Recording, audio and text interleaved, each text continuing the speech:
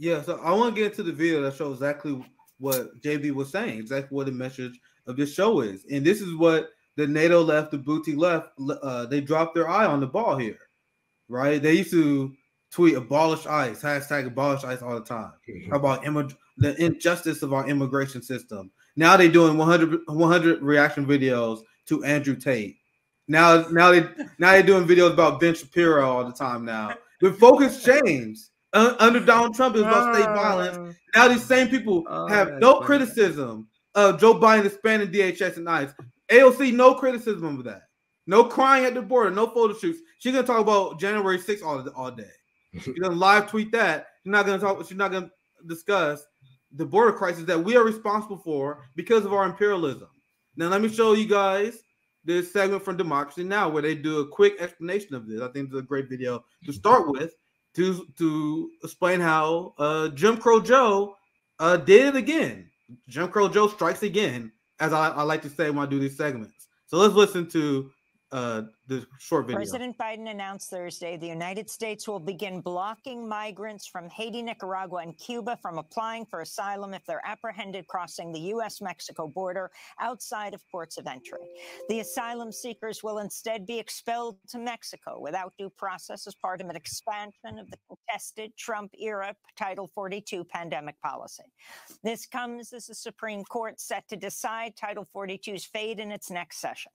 Biden also announced a small number of Haitians, Nicaraguans, and Cubans will qualify for a program granting them temporary permission to live and work in the U.S. if they apply for the relief from their home countries and already have financial sponsors in the U.S.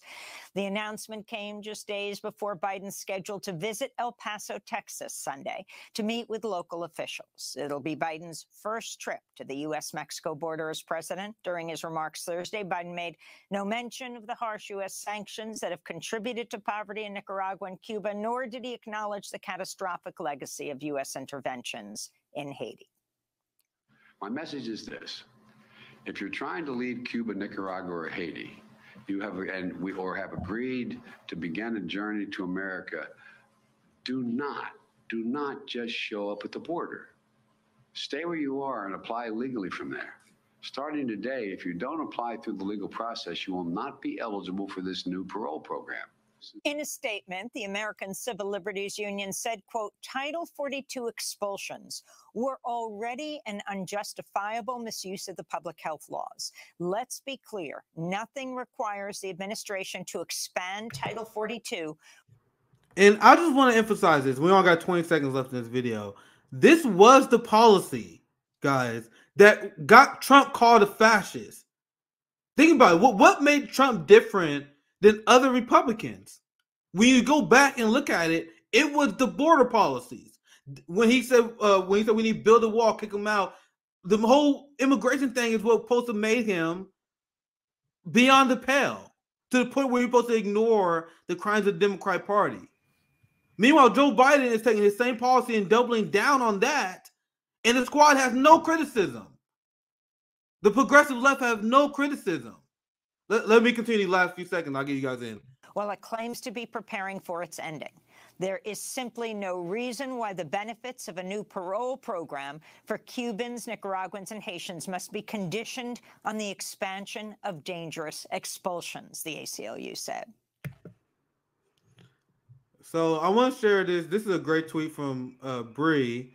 And she said, This is entirely consistent with Joe Biden's entire political history with respect to race. And this will show how Ukrainians are offered haven in the U.S. while others wait. So they love the uh, our dear blue-eyed, blonde-haired, blue-eyed Ukrainians. meanwhile, the people who are victim of our foreign policy, they're being denied their legal right to asylum. This is what they got. They used to call Trump a fascist. Now Joe Biden is getting away with it. Do you guys see how Joe Biden put the MAGA extremists to shame.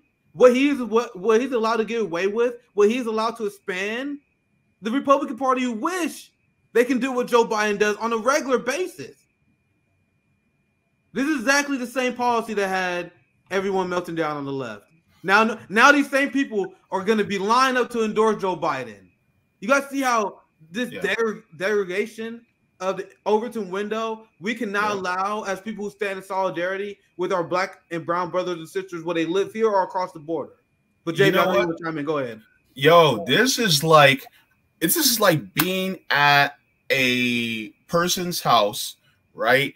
And then a, a criminal comes in to try to kill y'all, and then you run out your house, you go bang on the door to try to get to safety, and they're like, and they're speaking through the door. Sorry, you should have called me before you came over.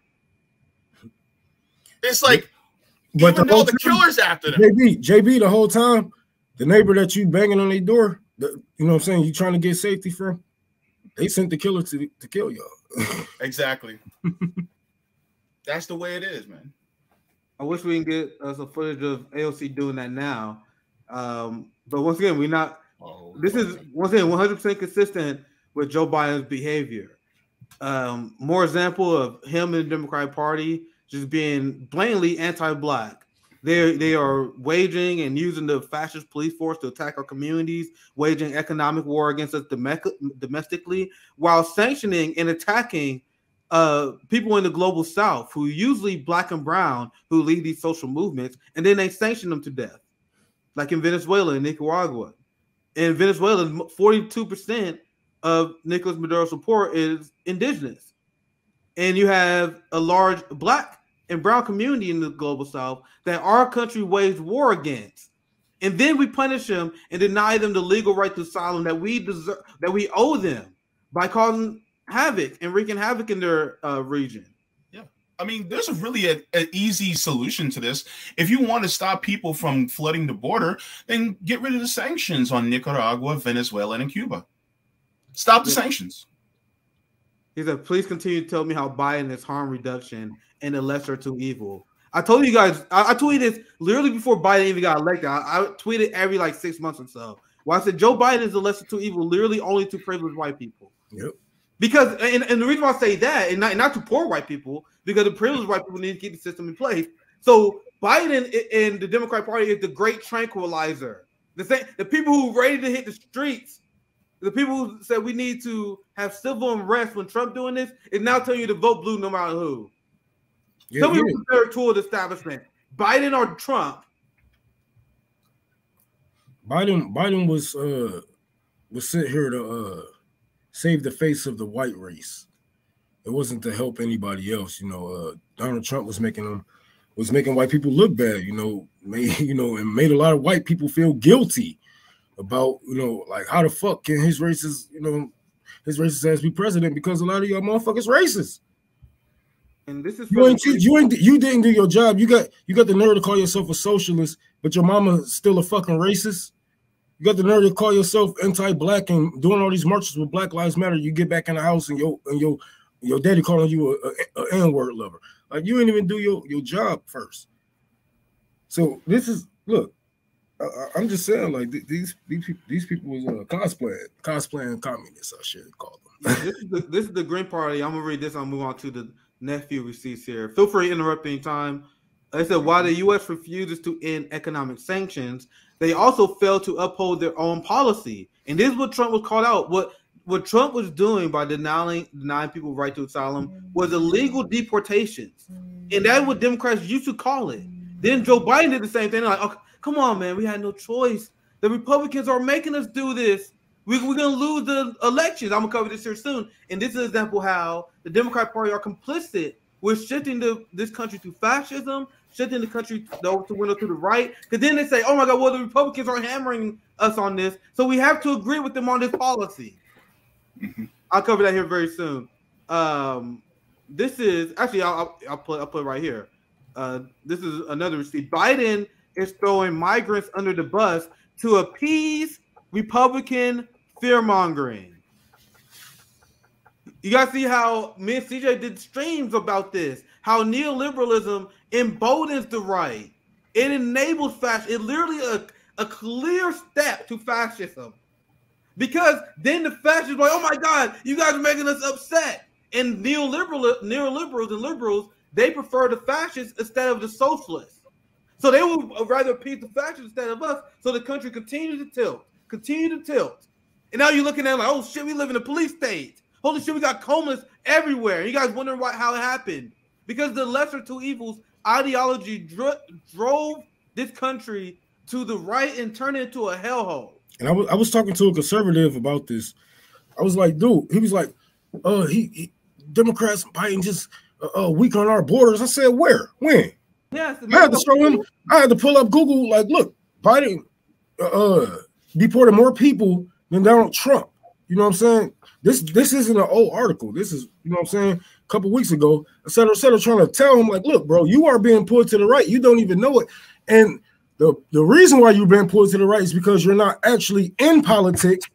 You're just into politics. You're not actually into politics. You don't actually care. You don't actually read the bills or uh, listen to what these people uh, actually are saying, talking about who they are funded by.